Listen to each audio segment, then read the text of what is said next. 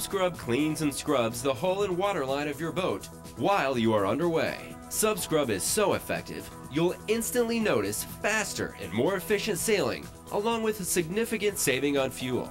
All at a fraction of the time, cost, and effort that traditional scrubbing methods require. You'll take pride knowing that your sailboat looks and performs at its very best. SubScrub is simple and easy to use. With your boat moving at about 3 to 4 knots through the water, SubScrub uses the power of the moving water to scrub your hull. When it's put into the water, it starts to dive automatically. SubScrub's patented design and hydrofoils keep the brushes firmly against the hull. Driven by the water, SubScrub dives and scrubs right to the bottom of the hull. The hand line is used to control the speed of descent and then to steer SubScrub back to the surface.